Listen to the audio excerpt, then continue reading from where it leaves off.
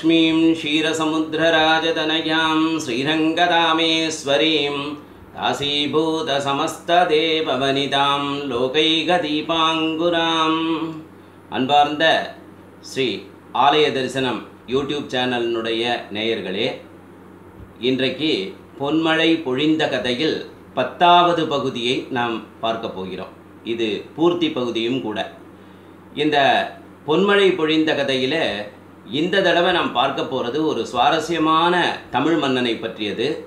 அது என்னன்னாக்கா கடையெழு வள்ளல்களிலே பாரி மன்னன் நமக்கெல்லாம் தெரியும் முல்லைக்கு தேர் கொடுத்தவன். தேரையே எடுத்து முல்லைக்கொடி ஆடுதுன்னொடனே அதுக்கு பக்கத்தில் தன்னுடைய தேரை நிறுத்தி வச்சுவிட்டு அரண்மனைக்கு திரும்பியவன். அவ்வளவு பெரிய வள்ளத்தன்மை கொண்டவன். அப்படிப்பட்ட அந்த பாரி மன்னனோடு மூவேந்தர்களுக்கும் பகை. என்னன்னாக்கா அவருக்கு ரெண்டு பெண்கள் அங்கவை சங்கவைன்னு. இந்த அங்கவை சங்கவைன்னு சொன்னால் உங்களுக்கெல்லாம் இப்போ கடைசியாக வந்த சிவாஜி படத்தில் வர அந்த கேரக்டர் தான் ஞாபகம் இருக்கும். ஆனால் இது அப்படி அல்ல. இந்த அங்கவை சங்கவை இரண்டு பேருமே அறிவிலும் அழகிலும் மிகச்சிறந்தவர்கள். பாரி மன்னனினுடைய புத்திரிகள். இவர்கள் ரெண்டு பேருக்கு யாருக்கு கல்யாணம் பண்ணி வைக்கிறதுங்கிறதுல போட்டி. பாண்டிய மன்னன் வந்து பெண் கேட்கிறான்.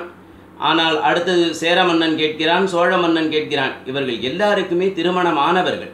இந்த ரெண்டு குழந்தைகளும் என்ன நினச்சிட்டு இருக்காங்கன்னா திருமணமாகாத நல்ல ஆடவனுக்கு தன்னை நல்ல ஆட அரசனுக்கு தனக்கு தன்னை திருமணம் செய்து வைக்க வேண்டும். அப்படி ஒரு எண்ணம். அதனால இவர்கள் ரெண்டு பேரும் என்ன பண்ணுறாங்கன்னா இதெல்லாம் வேண்டாம் அப்படின்னு நினைக்கிறாளாம். ஆனால் அந்த மூணு பேருக்குமே இந்த பாரி மன்னன் மேலே மிகுந்த பொறாமை.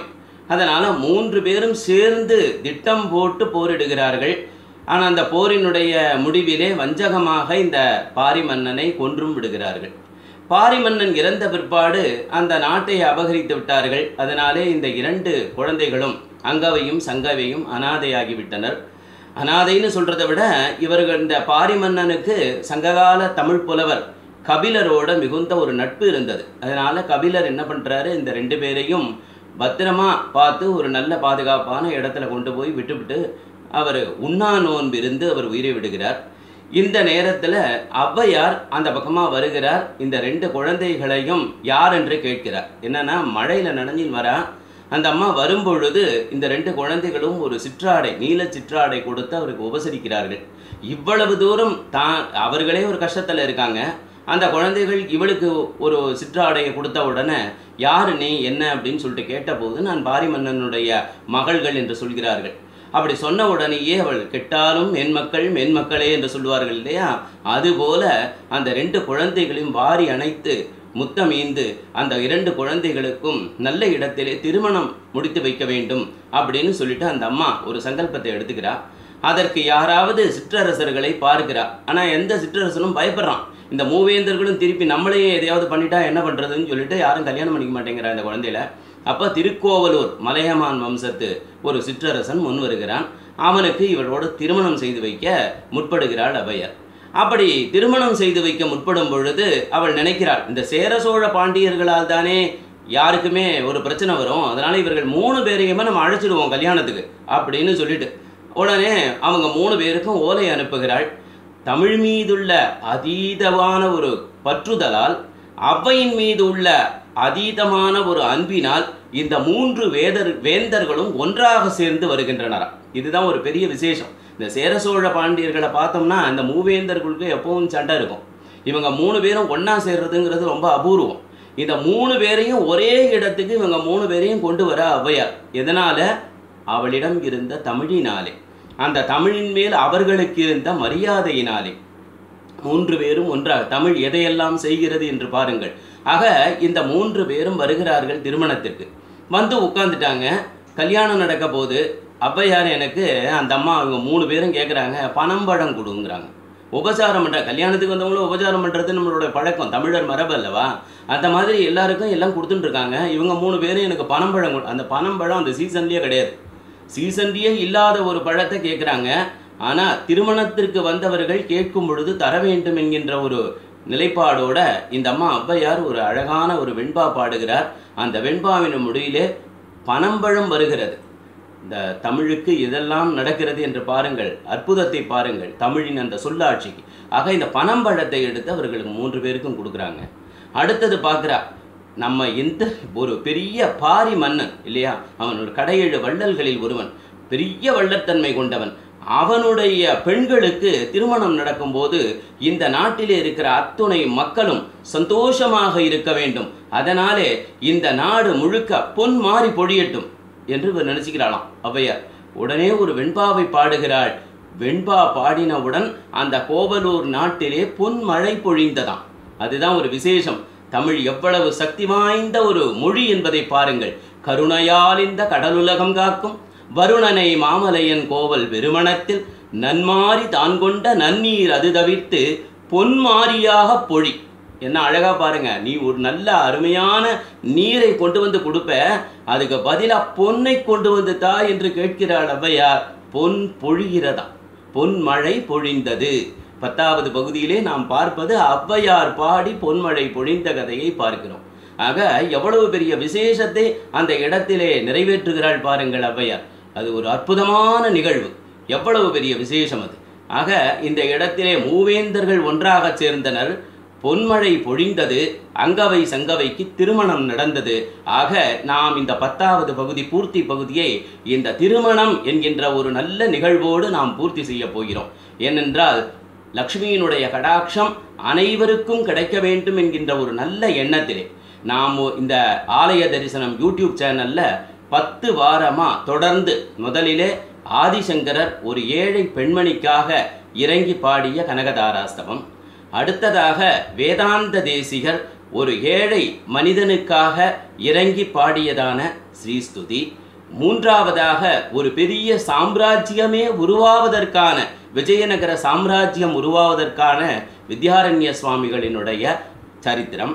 நான்காவதாக காஞ்சிபுரத்தினுடைய தொண்டை மண்டலத்தினுடைய பஞ்சம் போக்குவதற்காக துண்டீர மகாராஜாவுக்கு பெய்ததான காமாட்சி பண்ணினதான அற்புதமான பொன்மழை. இப் அடுத்தது பரமாச்சாரியா நடமாடும் தெய்வம் காஞ்சி. வாழ் பெரியவர். அந்த சுவாமிகள் ஆச்சாரிய சுவாமிகள் பண்ணினதான அந்த காமாட்சியினுடைய விமானம் தங்க விமானமாக மாற்ற வேண்டும் என்பதற்காக இதே கனகதாரா ஸ்தவத்தை வைத்து அங்கே பொன்மழை பொழிந்தது. அதற்கு அடுத்தது கிருஷ்ணர் குச்சேலருக்கு அருளியதான அற்புதமான ஒரு நிகழ்வு. பாண்டுரங்கன் துக்காராமுக்காக பண்ணினதான அற்புதமான நிகழ்வு. அடுத்தது சுந்தரமூர்த்தி சுவாமிகளுக்கு பொன் கிடைத்தது. அது ஆற்றிலே போற்று குளத்திலே எடுத்ததான அந்த அற்புதமான நிகழ்வு. அடுத்தது சம்பந்த சுவாமிகளுக்கு மிக அழகாக பொன் கிடைத்தது. படிக்காசு பொன் கிடைத்தது. இப்படி இதையெல்லாம் நாம் தொடர்ந்து கொண்டு வந்திருக்கிறோம். இதில் அடுத்தது ஔவையாரினுடைய இந்த பொன்மழை பொழிந்த கதையோடு நாம் பூர்த்தி செய்கிறோம். இந்த பொன்மழை நம்ம வீட்லேயும் பெய்யணுங்க. ஏன்னா எல்லாருக்கும் இதை ஒரு ஒரு தடவையும் நான் சொல்லும் பொழுது நான் எல்லார் வீட்டிலையும் அஷ்ட ஐஸ்வர்யமும் பொங்கணும் நவநிதியும் கிடைக்கணும் ஐஸ்வர்யேஸ்வரனுடைய அருள் எப்பொழுதும் உங்களுக்கெல்லாம் இருக்கணும். இதையெல்லாம் நான் எதுக்காக சொல்லிட்டு இருக்கேன் தெரியுமா? நாம் சின்ன சின்ன விஷயங்களை நம்ம தினம் வீடுகளில் கை கொண்டாலே இந்த மாதிரி பொன்மழை நம்ம வீட்லேயும் பொழியுங்க. பகவானுடைய அனுகிரகம் எல்லாருக்கும் கிடைக்கும். எப்படின்னா கார்த்தால எழுந்திருக்கிறோம். எழுந்திருக்கும் போதே ரெண்டு கையையும் இப்படி பார்க்கணும். கராக்கரே வசதே லக்ஷ்மின்னும். இந்த கைக்குள்ளே லக்ஷ்மி இருக்கலாம். அதனால கார்த்தால எழுந்த உடனே அம்பாளை நம்ம மகாலட்சுமியை கையில் பார்க்கணும். கார்த்தால் தூங்கி எழுந்த உடனே வேற யாரையாவது பார்த்துக்கிட்டு அவங்கள வேற திட்டிக்கிட்டு இருப்போம். அந்த மாதிரிலாம் பண்ணக்கூடாது. கையை பார்க்கணும். நம்ம கையை நாமே பார்த்தோம் என்று சொன்னால் அதிலே அந்த லக்ஷ்மி நித்தியவாசம் செய்யக்கூடிய கை இது. அதனால் அந்த லக்ஷ்மியை பார்க்குறோம். அவளை மனசால் நினைத்து துதிக்கிறோம். அதே மாதிரி எழுந்து வீட்டில் உள்ள பெண்கள் வீட்டையெல்லாம் பெருக்கி அழகாக வாசலில் தெளித்து கோலம் போட்டு அரிசி மாவால் நம்ம கோலம் மாவால் கோலம் போட்டோம்னா அதனால எந்த பயனும் இல்லை. அரிசி மாவில் கோலம் போடணும். ஏன்னா அந்த அரிசி தூள் இருக்கிறதே அது எத்தனையோ எறும்புகளுக்கும் புழு பூச்சிகளுக்கும் உணவாக போகிறது. அதனாலே நமக்கு பெரிய புண்ணியம் கிடைக்கிறது. அதனால அந்த அரிசி மாவால் கோலம் போடணும். வீட்டில் வந்த உடனே அழகாக குளித்து ஐந்து முக தீபத்தில் விளக்கு நல்ல நல்லெண்ணெயில் விளக்கேற்றணும் இன்னைக்கு நம்ம எதோ எண்ணெயிலலாம் ஏற்றுறோம் அதெல்லாம் ஏற்றக்கூடாது நல்ல எண்ணெயில் தான் ஏற்றணும் அதுக்கு தான் அது நல்ல எண்ணெய்னு சொல்கிறோம் அப்படிப்பட்ட அந்த நல்ல எண்ணெயில் விளக்கேற்றணும் இறை நம்பிக்கையோடு இறை நாமாக்களை கொஞ்ச நேரமாவது நமக்கு பிடிச்ச நாமாவை மனதால நம்ம மனசுக்குள்ள ஒரு உள்ளன்பார்ந்த உள்ளார்ந்த பக்தியோடு பகவானை நினைத்து சொல்ல வேண்டும். அதற்கப்புறம் நம்முடைய ரெகுலராக நம்ம என்ன காரியம் தினம் செய்கிறோமோ அதையெல்லாம் செஞ்சுட்டே போகலாம். ஆனால் இன்னொருத்தரை கேவலமாக நினைத்தல் புறங்கூறுதல் தீது நினைத்தல் இது போன்ற எந்த ஒரு விஷயத்தையும் நாம் கை கொள்ளாமல் நாம் நல்லதையே நினைத்து நல்ல எண்ணங்களோடு வாழ்ந்தோம் என்று சொன்னால் முடிந்த அளவுக்கு ஏழைகளுக்கு வறியவர்களுக்கு தான தர்மம் கொடுக்கணும். இது இந்த பத்து கதையையும் பாருங்க. அந்த பத்து சரித்திரத்திலையுமே ஏழை எளியவர்களுக்கு தான் இவங்க வந்து அந்த பொன்மழையை உபயோகப்படுத்தியிருக்கிறாங்க. பகவான் கொடுக்குறான் அதை அவர்கள் எடுத்து வச்சுக்கல. பகவான் கொடுத்ததை யாரோ வறியவர்களுக்கோ ஏதோ ஒரு நாட்டினுடைய பஞ்சம் தீர்ப்பதற்கோ இப்படித்தான் இந்த பொன் மழையானது அவர்களுக்கு ஏதோ ஒரு விதத்தில் நல்ல விதத்திலே உபயோகமாகி இருக்கிறது. அதனால் நாமும் அது மாதிரி முடிஞ்ச அளவுக்கு ஏதோ அன்னதானம் செஞ்சோம்னா அதுவே பெரிய புண்ணியம். கையில் ஒரு பவுன் தங்க காசு கொடுக்கணும்னு அவசியம் இல்லை.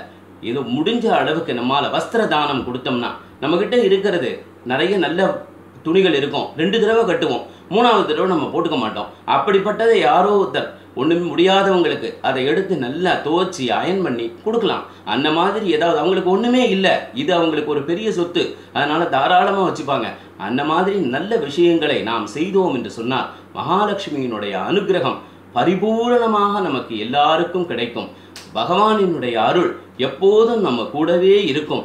இது நமக்கு இந்த ஜென்மத்துக்கு மட்டுமில்ல அடுத்த ஜென்மத்துக்கும் நமக்கு உதவிப்படும். அதனால் நாம் நல்ல காரியத்தை செய்வோம்.